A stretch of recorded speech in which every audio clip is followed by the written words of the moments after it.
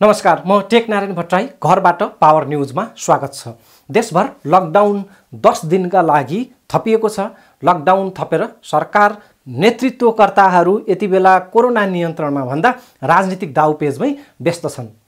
नागरिकले पाउने शास्ति कम गर्नुभन्दा दुःख कष्ट बढाउने मात्रै काम भइरहेको छ। त्यसको एउटा प्रतिनिधि दृश्य म यहाँहरूलाई देखाउँदैछु। देशका विभिन्न ठाउँबाट काठमाडौँ आउँदासम्म कहीँ कतै यी यात्रुलाई रोकिएन। सयौँ किलोमिटर पार गरेर आएका यात्रुलाई नागढुङ्गामा रोकेर अलपत्र पारियो। उनीहरू चढेर आएको बस खाली गरियो र ती बसलाई काठमाडौँ पठाइयो तर यात्रुहरूलाई त्यहीँ ओह्रालियो। उनीहरू हिँडेरै काठमाडौँतर्फ लाग्नु पर्यो। एकपटक होइन पटक पटक यस्ता घटना प्रहरीबाट हुँदै आएका छन् जसले नागरिकलाई हैरानी दिने काम मात्रै भएको छ। के उनीहरू बसमा आउँदा कोरोना छिर्ने नागढुङ्गाबाट हिँडेर आउँदा कोरोना त्यहीँ रोकिने र यात्रुहरू मात्रै काठमाडौँ आइपुग्ने नियम हो। अहिले पनि काठमाडौँबाट मानिसहरू धमाधम गाडीमा निस्केका छन्। न त सरकारले गाडी चलाउन पाउने भनेको छ न त रोकिएको नै छ। जसले जे सक्छ त्यही गरिरहेका छन्। नेता सांसदले व्यवस्था गरेका गाडी खचाखच भरेर गन्तव्यमा आउजाउ गरेका छन् तर आम सर्वसाधारणलाई यसै गरी नै शास्ति दिने काम भइरहेको छ। उता जनताको दुःख बयान गरेर नसकिनेछ। यता प्रधानमन्त्री र मन्त्रीहरूदेखि सत्तारूढ दलका प्रमुख नेताहरू भने यति बेला दिनरात नभनेर ओभरटाइम खटिरहेका छन्।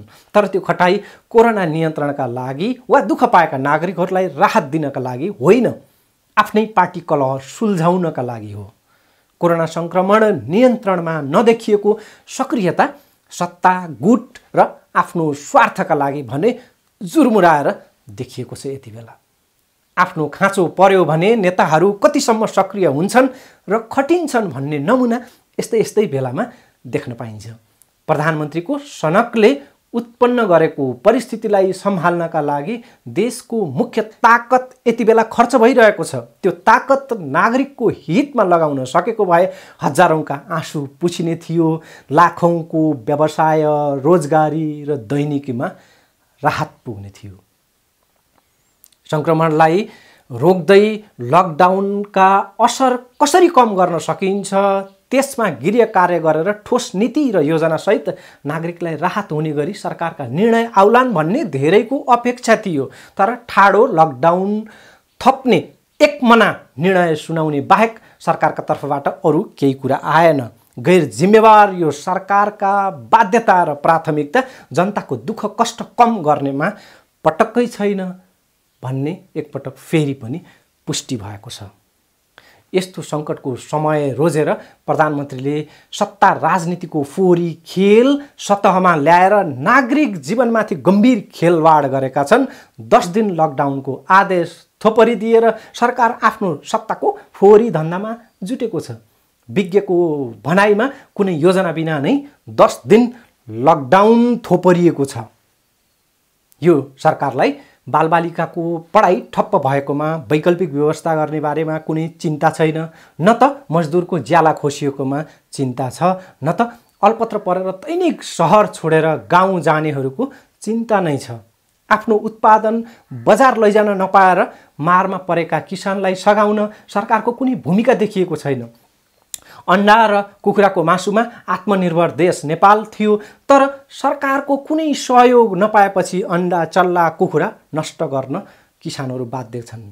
तरकारीदेखि फलफुल यति बेला पोखिएका छन्। सडकमा दुध पोखिएको छ किसानको बिचल्ली अवस्था छ। त्यसलाई बजार व्यवस्थासम्म गर्ने त्यसलाई भण्डारण गर्ने अथवा कसरी हुन्छ ती किसानहरूलाई राहत दिने बारेमा सरकारले केही नीति योजना र कार्यक्रम ल्याएको देखिँदैन। अब बजार खुल्दा हाहाकार सामना गर्नुपर्नेछ।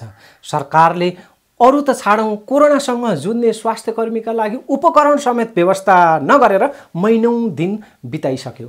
सरकारको चिन्ता केवल सत्ता र आफ्नो गुट बलियो बनाउनमै केन्द्रित देखिएको छ यो खुला सत्य हो। चिकित्सक र विज्ञ टोलीको राय सल्लाह लिएर यस्ता लकडाउन थप्ने जस्ता निर्णयहरू हुन्छन् वा राजनीतिक र शासकीय आदेशकै भरमा यस्ता गम्भीर निर्णयहरू हुन्छन् मैले आज एकजना विज्ञलाई यो प्रश्न सोधेको छु। दस दिन लकडाउन थप्ने निर्णय कसरी भयो र यसका भित्री अन्तर्यबारे आजको कार्यक्रममा चिरफार हुनेछ? उता सत्तारूढ दल नेकपाका वरिष्ठ नेता एवं पूर्व प्रधानमन्त्री झलनाथ खनालसँग नेकपाको पार्टी राजनीति र सत्ता फेरबदल समेतका चर्चा बारेमा धारणा बुझ्ने प्रयास स्वरूप मैले आज फोन संवाद गरेको छु। यो फोन संवादमा झलनाथ खनाल अहिलेको परिस्थितिबारे खुलेर कुरा गर्न अनिच्छुक रहेको प्रष्ट महसुस हुन्छ। खनालले पार्टीको निर्णय नमान्ने र बैठक नै आयोजना नहुने अवस्थामा नेकपा पार्टी रहनुको कुनै अर्थ नहुने बताएका छन् यो संवादमा प्रधानमन्त्रीलाई बैठक आयोजना गर्न आफूहरूले दबाब बढाएको र केही दिनमा बैठक हुने उनको विश्वास छ। मैले प्रधानमन्त्री फेर्नेसम्मको कठोर निर्णय हुने चर्चा पनि चलिरहेको छ। त्यसमा के हुन्छ भनेर पनि सोधेको छु। पूर्व प्रधानमन्त्री झलनाथ खनालसँग आज भएको यो संवाद सुनौ। केन्द्रीय सचिवालय बैठक र स्थायी कमिटीको बैठक बस्ने सम्भावना कतिको छ आज भोलिमा? सम्भावना छ तर कहिले बस्छ हजुरहरूले चाहिँ बैठकका लागि के पहल गर्दै रहनु भएको छ? हामीले बैठकमा अर्को कुरा अहिले यो पछिल्लो समय प्रधानमन्त्रीज्यूको र राष्ट्रपतिज्यूको जुन भेट बाक्लो भइरहेको छ यसलाई स्वाभाविक लिने कि यो अलिकति अस्वाभाविक लाग्छ? किनभने राष्ट्रपतिलाई पनि विवादमा तान्ने काम गरियो भनेर प्रतिक्रियाहरू आइरहेछन् नि। अनि अब नेकपाले जस्तो प्रदेश नम्बर दुईमा पहिलो दलको रूपमा थियो अध्यादेश प्रकरणले दुई पार्टी मिलाइदियो पार्टीलाई चाहिँ मधेसमा दोस्रो शक्तिमा खुम्च्याइदियो। समग्र राष्ट्रिय राजनीतिमा पनि नेकपालाई चाहिँ अहिले अहिले कमजोर पोजिसनमा लाने खालका जुन गतिविधिहरू भए यसले त पार्टीलाई सरकारलाई ठुलो क्षति पुगेको छ। यसको हिसाब किताब कसरी हुन्छ? के प्लान गर्दै हुनुहुन्छ?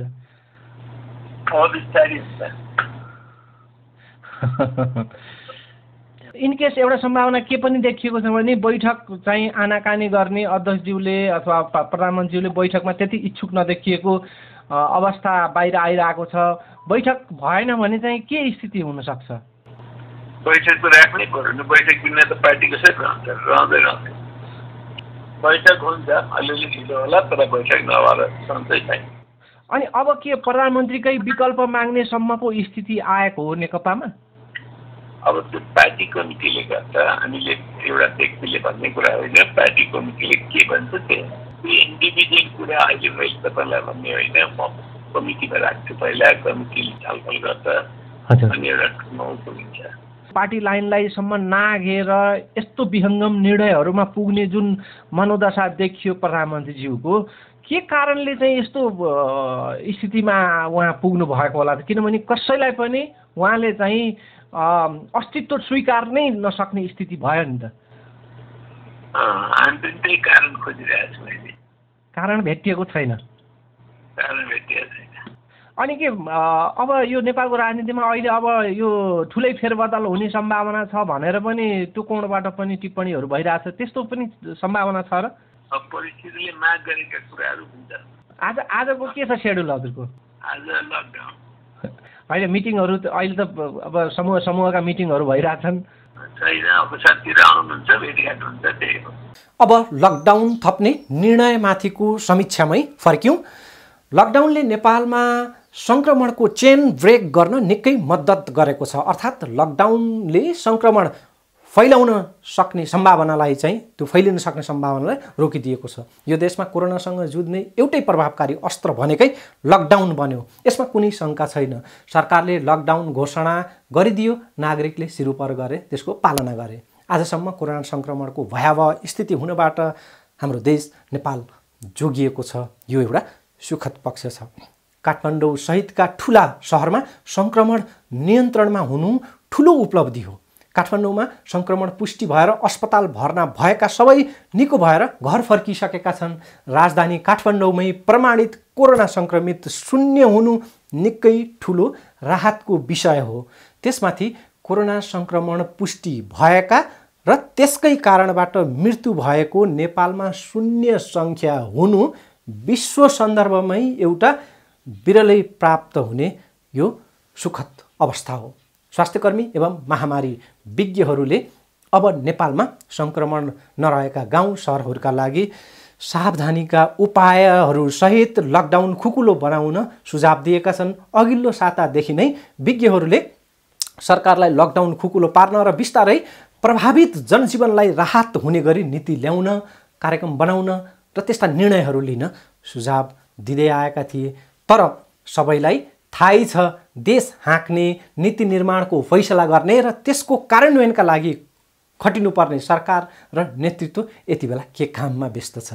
प्रदेश पाँचका मुख्यमन्त्री शङ्कर पोखरेललाई प्रधानमन्त्रीबाटै काठमाडौँ झिकाउने काम भएको छ यस्तो बेलामा। पोखरेल कोरोनासँग जुझ्ने योजना अन्तर्गत काठमाडौँ झिकाइएका होइनन् नझुक्किनुहोला पार्टीको किचोलो मिलाउनका लागि यति बेलाको महत्त्वपूर्ण जिम्मेवारी छाडेर प्रधानमन्त्रीको निर्देशनमा उनी काठमाडौँमा सक्रिय छन्। अरू नेताहरू पनि यसै गरी सक्रिय छन्। धन्न कोरोनाको सङ्क्रमण मत्थर अवस्थामा छ हाम्रो देशमा। भयावह अवस्था हुन्थ्यो भने पनि प्रधानमन्त्रीलाई जनस्वास्थ्यको भन्दा सत्ता राजनीतिकै चिन्ता बढी हुने रहेछ भन्ने आरोप सोझिएको छ र त्यो आरोपलाई पुष्टि हुने घटनाक्रमहरू पनि सत्तामा देखिएका छन्। लकडाउनको आदेश थोपरेर सरकार आफ्नो दुनो सोझ्याउने दाउमा जुटिरहेको भन्दै आलोचना र टिप्पणीहरू सुरु भएका छन्। लकडाउन थोपरिदिएपछि हाइसुक्खैले राजनीतिक दाउपेजमा समय लगाउन पाइने भन्दै आफ्नै स्वार्थका लागि लकडाउनलाई उपयोग गर्ने मनोदशा प्रधानमन्त्रीमा हाबी हुँदै गएको आरोप पनि लागेको छ। एक महिनासम्म लकडाउन भइसक्दा र काठमाडौँ जस्तो सहरमा पनि सङ्क्रमण शून्यमा रहेको आजको अवस्थामा दोस्रो चरणको केही खुकुलो घोषित योजना नल्याउनुले सरकारको कार्यक्षमता र नियतमाथि शङ्का गर्ने ठाउँ देखिएको विज्ञ डाक्टर एवं नेपालका स्वास्थ्य जनस्वास्थ्य वैज्ञानिक समीरमणि दीक्षितको भनाइ छ। महामारी विज्ञ समेत रहेका दीक्षितसँग लकडाउन थप्ने सरकारी निर्णयबारे मैले टेलिफोनबाट आज प्रतिक्रिया लिएको छु। यो सुनौ। दस दिन फेरि लकडाउन एकैचोटि थपियो। यहाँलाई कस्तो लागेको छ यो कुरा? मैले के भनिरहेको थिएँ भने चार हप्तासम्म लकडाउन गरेर ठिक गर्यो होइन।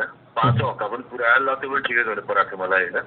अब मलाई चाहिँ के लागेको थियो भन्दाखेरि होला बढाउला। अझ एक हप्तासम्म चाहिँ बढाउनु बढाउला राज्यले। तर त्यो गर्ने क्रममा अब भावी योजना के छ दीर्घकालीन योजनाहरू के छ अब आउँदो हप्ता यो गर्छु त्यसपछि त्यो गर्छु त्यसपछि त्यो गर्छु यता यता कर्जीकरण गर्छु यता खुकुलो पार्छु भन्ने योजना सहित आउँछ भन्ने थियो मेरो अहिले अलि हेर्दा त बिना योजना जस्तै एउटा अस्पतालले खालि दस दिन थियो भने बढाइदिएर देखियो म म अलिक डिसम्बरले भएको छु मलाई मलाई दुःख लागेको छ कि जुन बिना योजना यसरी बढाएको चाहिँ नि राम्रो चाहिँ भएन जस्तो यो पोलिटिकल्ली मात्रै डिसिजन हुन्छ कि यो विज्ञहरूसँग राय सल्लाह लिएर निर्णय प्रक्रियाहरू हुने गरेका छन् यो मामलामा? तपाईँको अनुभव के छ? पहिले पहिले त सुरु सुरुमा त विज्ञहरूलाई सुझावको लागि आमन्त्रित गरेको सम्झना छ। म पनि त्यसमा टिममै थिएँ। छु जस्तो लाग्छ अहिले पनि होइन? त्यसपछि अब यो विज्ञता अलिकति हराउन थाल्यो।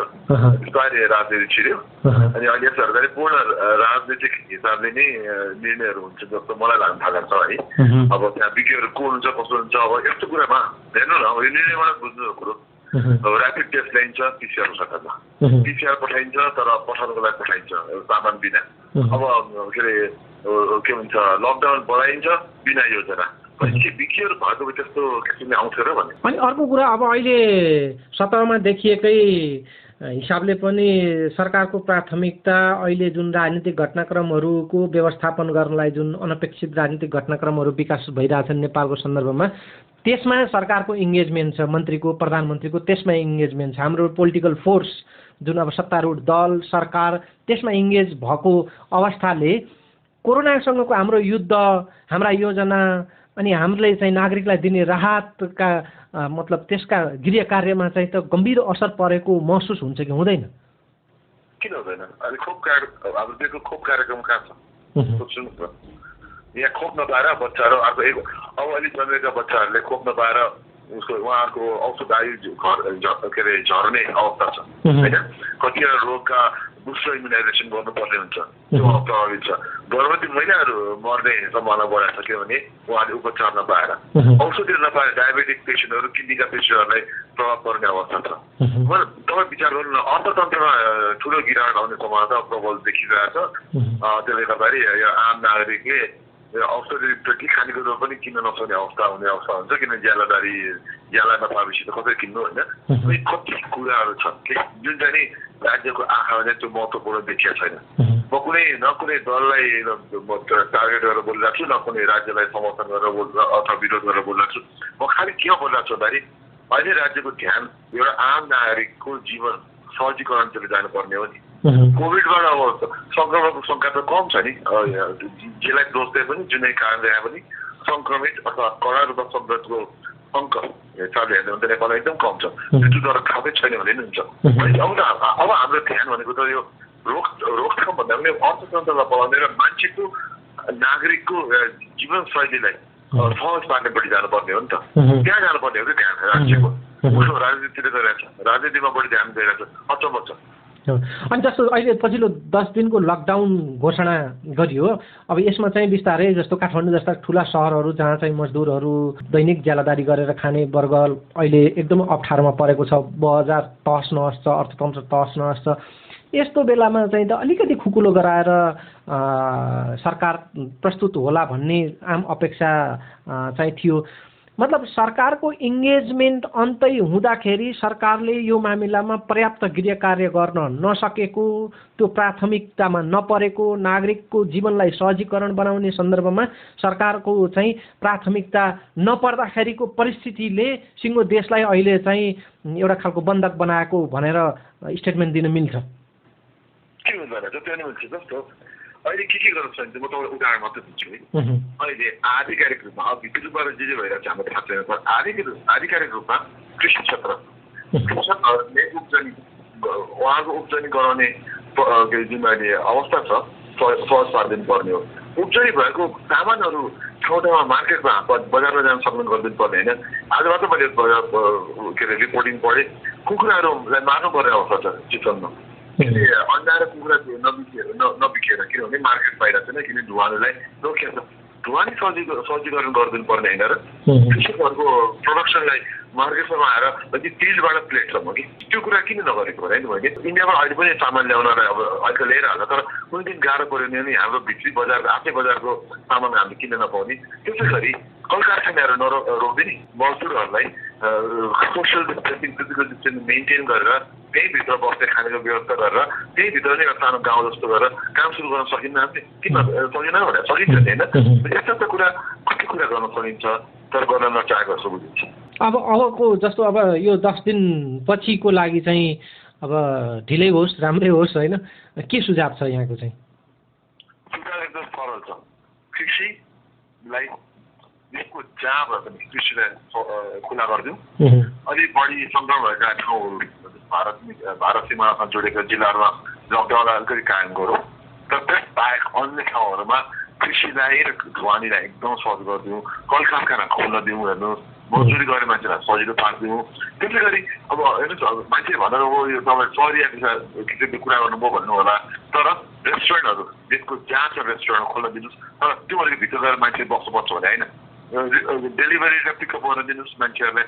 मान्छेले जागिर पाउँछन् कि? म के छु नि जागिर पाउने काम गर्न दिनुहोस् कि? मान्छेहरूले अहिले जागिर गरेनन् भने पैसा कमाउन सक्नुहुन्न र जसले पैसा कमाउन सक्दैन उसले भोलि खाना खान किन पाउँदैन कि?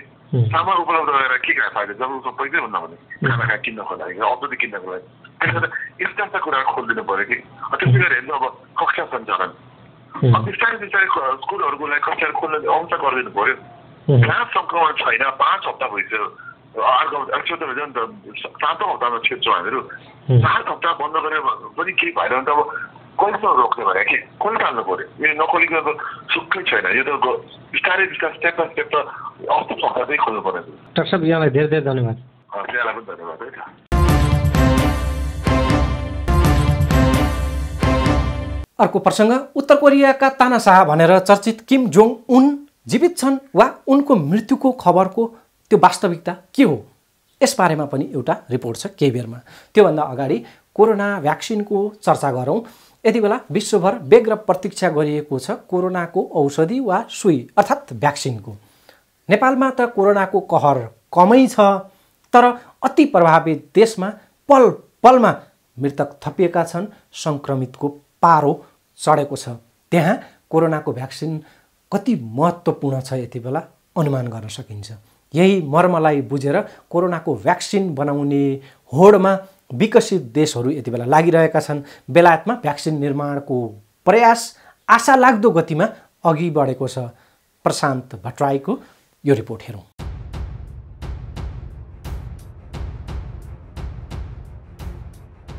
यति बेला विश्वभर एउटा प्रश्न सबैको मनमा उब्जिएको छ कि कोरोना भाइरसको औषधि अथवा भ्याक्सिन कहिले पत्ता लाग्ला? विश्वभर परीक्षणहरू चलिरहेका खबर आएका छन्। यही बिचमा एउटा सान्त्वना दिने खालको खबर आएको छ। बेलायतको अक्सफोर्ड युनिभर्सिटीको भ्याक्सिन डिपार्टमेन्टका केही वैज्ञानिकहरूले कोरोना भाइरसको भ्याक्सिनको ह्युमन ट्रायल अर्थात् मानव परीक्षण सुरु गरेका छन्। त्यहाँ अठारदेखि पचपन्न उमेर समूहका करिब आठ सयजना स्वास्थ्य स्वयंसेवकहरूमाथि खोपको परीक्षण गरिएको छ। कोरोना सङ्क्रमणको भयावह अवस्थालाई ख्याल गर्दै भ्याक्सिन तयारी र परीक्षणसम्मको समयलाई निकै छोट्याउने प्रयास भइरहेको छ। वर्षौँ लाग्न सक्ने यो प्रक्रियालाई अक्सफोर्ड युनिभर्सिटीका वैज्ञानिकहरूले तिन महिनामै पुरा गरेर उल्लेख्य प्रगति गरेका छन्। यो परीक्षणले पुरै विश्वमा एउटा आशाको किरण छर्ने काम गरेको छ। यदि यसको परीक्षण सफल भयो भने कोरोनाको महामारी र यसले उत्पन्न गरेको महासङ्कटबाट पार पाउनको लागि ठुलो उपलब्धि हुनेछ। त्यसैले यो परीक्षणलाई निकै महत्त्वको साथ हेरिएको छ।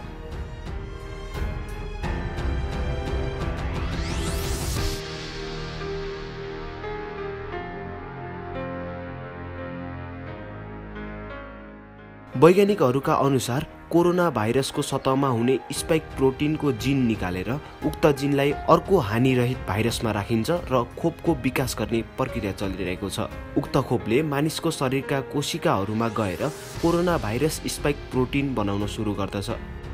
यसबाट मानिसको शरीरमा रोग प्रतिरोधात्मक क्षमता अर्थात् एन्टिबडी बन्न थाल्छ र शरीरमा हुने टी नामका कोशिकाहरूलाई सक्रिय बनाउँछ। ती कोशिकाहरूले कोरोना भाइरसलाई पहिचान गरेर मारिदिन्छन् र मानिसको शरीरलाई कोरोना भाइरसबाट मुक्त गरिदिन्छन्।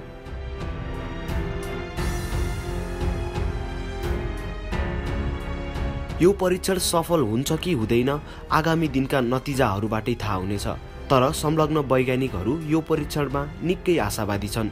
बेलायत सरकारले पनि यो परीक्षणका लागि निकै महत्त्व दिएर चाहिने जति सबै प्रबन्ध मिलाएको छ। बेलायतको दावी छ कि उसले बाँकी अरू देशभन्दा बढी भ्याक्सिन उत्पादन र परीक्षणका लागि बजेट विनियोजन र खोज एवं अनुसन्धानमा जोड दिएको छ।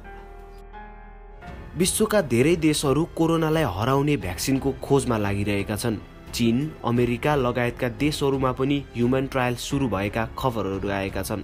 यसअघि चीनमा पनि कोरोना विरुद्धको खोप परीक्षण नभएको भने होइन। तर उक्त परीक्षण सफल नभएको विश्व स्वास्थ्य सङ्गठनले जानकारी दिएको छ। आज स्वास्थ्य मन्त्रालयको कोरोना अपडेटमा के छ त्यस्तो उल्लेखनीय विषय? यी हाइलाइटहरू हेरौँ। सङ्क्रमित व्यक्तिहरूको विवरणको बारेमा अपडेट गराउन चाहन्छु। कुल सङ्क्रमितको सङ्ख्या बाहन्न हो। जसमध्ये सोह्रजना निको भई घर फर्किसक्नु भएको छ भने हाल धनगढीमा एकजना वीरगञ्जमा हिजो थप दुईजना सहित जम्मा तीनजना भरतपुरमा एकजना र विराटनगरमा हिजो थप एकजना सहित जम्मा एकतिसजना गरी कुल छत्तिसजनाको उपचार यी अस्पतालहरूमा भइरहेको छ। सबै संक्रमितहरूको स्वास्थ्य स्थिति सामान्य रहेको छ। यो लकडाउन कहिलेसम्म हुन्छ भन्ने कुरामा धेरै कुराहरूले निर्धारण गर्छ। पहिलो निर्धारण सङ्क्रमितको सङ्ख्या पनि हो। हाम्रो देशको कुरा गर्दा माघ नौ गते पहिलो केस सँगसँगै करिब दुई महिनापछि दोस्रो केस र त्यसपछि फाटफुट रूपमा देखिएको सङ्क्रमण वैशाख लाग्दै गर्दा सङ्क्रमितको सङ्ख्यामा वृद्धि भएको छ। हिजो मात्रै थप तीनजना सङ्क्रमितको पहिचान भएको छ। यसले गर्दाखेरि हाम्रो चाहिँ सङ्क्रमितको सङ्ख्याको हिसाबले लकडाउनको स्थिति चाहिँ निरन्तर दिनुपर्ने देखिन्छ। दोस्रो परीक्षण हो। परीक्षणको कुरा गर्दा हामीले पहिलो केसको परीक्षण देश बाहिर पठाउनु परेको थियो भने त्यस पश्चात आफ्नै देशमा पिसिआर प्रविधिबाट परीक्षण गर्ने कार्य सुरु गर्यौं र आजको स्थितिमा हामीले देशभरका सोह्र स्थानबाट यो परीक्षण भइरहेको छ। तेस्रो भनेको सङ्क्रमण फैलने दर र फैलने अवस्था हो। हाल हामी धेरैजसो केसहरू स्पोऱ्याडिक अर्थात् पहिलो चरणमा छ। केही ठाउँमा मात्र दोस्रो चरणमा गएको देखिन्छ र यही दोस्रो चरणमै निहित रहन सक्यौँ भने देशमा सङ्क्रमणको फैलिने अवस्था कम हुन्छ। यसको लागि हामीले क्वारेन्टाइनको पूर्ण पालना गर्नुपर्ने हुन्छ। त्यसै गरी अर्को क्राइटेरिया भनेको नागरिकको जिम्मेवारी पनि हो। लकडाउन भएको अवधिमा यसको पूर्ण पालना गर्ने र खुकुलो बनाउँदै जाँदा हामीले आफ्नो व्यवहार कसरी गर्छौँ भन्ने कुराले पनि निर्धारण गर्छ। जस्तै मेलापात बजार अनावश्यक जमघट आवत जावत बढी रूपमा भयो भने सङ्क्रमण फैलन सक्ने सम्भावना रहन्छ। त्यसले गर्दाखेरि हामीले आफ्नो जिम्मेवारी त्यही अनुसार निभाउनु पर्ने हुन्छ। यसले पनि लकडाउन खोल्ने कुरालाई निर्धारण गर्छ। त्यसै गरी अर्को स्वास्थ्य कर्मी र स्वास्थ्य संस्थाहरूको क्षमता अभिवृद्धि गर्ने कुरा हो। हामीले विभिन्न स्वास्थ्य कर्मीहरूलाई तालिमहरू दिएर यो सम्बन्धमा कार्यविधिहरू निर्देशिकाहरू जारी गरेर विभिन्न अस्पतालहरू कोभिडको उपचार गर्ने र नन कोभिड अस्पतालहरूको वर्गीकरण गरेर अस्पतालहरूको पूर्वाधारमा सुधार गरेर सङ्क्रमितहरूको उपचारको लागि टाढा जानु नपर्ने स्थिति सिर्जना गरेर स्थानीय स्तरमै त्यहीँ रहेका अस्पतालहरूमा सङ्क्रमितको उपचार पनि भइरहेको छ। सो अस्पतालहरूलाई थप सुधार गरेर हामीले यो व्यवस्था गरिरहेका छौँ। यो कुराले पनि लकडाउनको स्थितिलाई निर्धारण गर्छ। त्यसले गर्दाखेरि छोटकरीमा भन्दा सङ्क्रमणले कस्तो रूप लिन्छ आगामी दिनमा? र हामी कसरी त्यो सङ्क्रमण रोक्न जिम्मेवार बन्छौँ? र हामीले कसरी धेरैभन्दा धेरैलाई टेस्टको दायरामा ल्याउँछौँ भन्ने कुराले नै प्रमुखत लकडाउनको निर्धारण गर्छ भनेर मैले स्वास्थ्य तथा जनसङ्ख्या मन्त्रालयको तर्फबाट भन्न चाहन्छु। हालसम्म हाम्रो कुल परीक्षण त्रिपन्न हजार पाँच सय चौतिस पुगेको छ जसमध्ये पिसिआर प्रविधिबाट गरिएको नमुना परीक्षणको सङ्ख्या दस हजार चार सय एकहत्तर छ। यसै गरी आरडिटी विधिबाट गरिएको नमुना परीक्षणको सङ्ख्या त्रिचालिस हजार त्रिसठी छ। गत चौबिस घण्टामा दुई हजार एक सय चौरासीजनाको परीक्षण भएको छ। क्वारेन्टाइनमा रहेका व्यक्तिहरू बिस हजार एक सय पन्चानब्बेजना हुनुहुन्छ। उहाँहरूमध्ये प्रदेश नम्बर एकमा एक हजार नौ सय छेपन्न प्रदेश नम्बर दुईमा एक हजार चार सय उनानब्बे त्यसै गरी बागमती प्रदेशमा दुई सय तीस गण्डकी प्रदेशमा पाँच सय चौन्न प्रदेश नम्बर पाँचमा एघार हजार दुई सय दुई कर्णाली प्रदेशमा तीन हजार एक सय पच्चिस र सुदूरपश्चिम प्रदेशमा एक हजार छ सय उन्चालिस गरी जम्मा बिस हजार एक सय पन्चानब्बेजना क्वारेन्टाइनमा रहनुभएको छ। आइसोलेसनमा रहेका सम्भावित तथा संक्रमितहरूको संख्या एक सय छ छ जसमध्ये उपत्यकाभित्र आठजना र उपत्यका बाहिरका अस्पतालहरूमा अन्ठानब्बेजना आइसोलेसनमा हुनुहुन्छ। अब अर्को प्रसङ्ग। उत्तर कोरियाली सर्वोच्च नेता किम जोन उनको मृत्युको हल्ला के हो? यति बेला धेरैको यसबारे चासो छ। प्रस्तुत छ किम जोन उन बारेको यो एउटा रिपोर्ट। उत्तर कोरियाका सर्वोच्च नेता एवं तानाशाह भनेर चर्चित किम जोङ उनको स्वास्थ्य अवस्थालाई लिएर यति बेला विश्वभर चर्चा चुलिएको छ। उनको निधन भएका समाचार समेत आउन थालेपछि उनको अहिलेको खास अवस्था के हो त्यसबारे निकै चासो बढेको छ। दक्षिण कोरियाका राष्ट्रपति मुन्जे इनका विदेश मामिला सम्बन्धी सल्लाहकारले किमको स्वास्थ्य अवस्थालाई लिएर आएका खबर र अड्कलबाजीहरूको खण्डन गरेका छन्। आइतबार समाचार संस्था सिएनएनसँगको कुराकानीमा किम जोङ उन जिउँदो र स्वस्थ रहेको उनले बताएका छन्। बाह्र अप्रिलमा किमको कार्डियो भ्यास्कुलर सर्जरी भएको थियो। उनी तेह्र अप्रिलबाट नै उत्तर कोरियाको वनसान भन्ने ठाउँमा रहेको र त्यसपछि उनको स्वास्थ्य अवस्थालाई लिएर विभिन्न किसिमका समाचारहरू सतहमा आएका थिए। शनिबार राति हङकङको एक न्युज च्यानलले उसको एक रिपोर्टमा किमको मृत्यु भएको खबर प्रस्तुत गरेको थियो। पछि दक्षिण कोरियाको एक मिडियाले किम स्वस्थ भएको र उनी एक रिसोर्टमा भएको दावी गरेको थियो। किम पन्ध्र अप्रिलमा भएको आफ्नो हजुरबुबा किम इल सुङको एक कार्यक्रममा पनि सहभागी नभएको भन्दै उनी जीवित नरहेको शङ्का गरिएको थियो।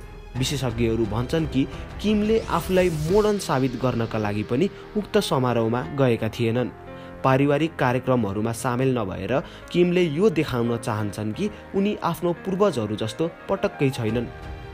तर उनको अनुपस्थिति र बिग्रेको स्वास्थ्य अवस्थालाई मिलाएर उनको मृत्युको अड्कलबाजी चल्न सुरु भएको थियो। चीनमा किमको मृत्युको समाचार अझै पनि भाइरल भइरहेको छ। बेजिङबाट सञ्चालित हङकङको एचकेएस टिभी च्यानलले किम जोङ उनको मृत्यु भइसकेको रिपोर्ट प्रसारण गरेको थियो।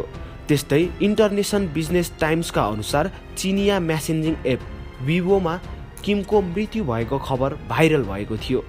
यस्तै अर्को रिपोर्टमा भने बेजिङ स्रोतका अनुसार किम जोङ उनको मुटुको शल्यक्रिया गर्दा एक सर्जनको हात कापेका कारण शल्यक्रिया नै गलत भएको र उनको मृत्यु भएको उल्लेख गरिएको थियो। उत्तर कोरियाको हरेक गतिविधिमा कडा नजर राख्ने दक्षिण कोरियाको एक पत्रिका डेली एनकेका अनुसार बाह्र अप्रिलमा किमको कार्डियोभास्कुलर अर्थात् मुटुको सर्जरी भएको थियो। रिपोर्टका अनुसार किम अत्याधिक चुरोट पिउने गर्थे र उनमा मोटोपनको पनि समस्या थियो। उनको ह्याङ्सन काउन्टी स्थित एक महलमा उपचार गरिएको थियो। डेली एनकेका अनुसार उक्त उपचारपछि किमको स्वास्थ्य स्थितिमा सुधार आएको दावी गरिएको छ। उनको उपचारमा खटिएका मेडिकल टिमका धेरैजसो सदस्यहरू उन्नाइस अप्रिलमा राजधानी प्योङयाङ फर्किएका छन्। केही सदस्य उनको हेरचाहका लागि उनीसँगै रहेका समाचारमा उल्लेख गरिएको छ। र दर्शक अन्तिममा लकडाउनका निरस दृश्य हेरिरहेका हामीहरूका लागि यी दृश्य हराभरा लाग्नेछन्। भोजपुरका ग्रामीण भेगमा किसानलाई खेतीपाती गर्ने चटारो छ भ्याइ नभई छ त्यहाँ। किसानहरू धान मकै बाली लगाउनमा यति बेला व्यस्त देखिन्छन्।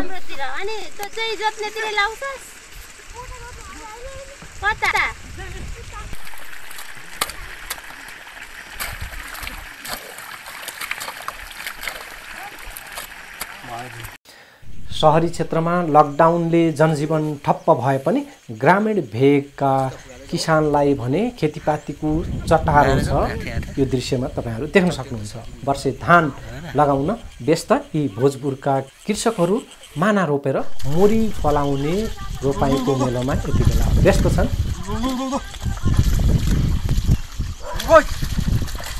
यी दृश्य भोजपुरबाट हाम्रा टिभी जर्नलिस्ट विवेक राईले पठाएका हुन्। हस् त पावर न्युज सकिन्छ। अर्को पावर न्युजमा भेटौँला। नमस्कार।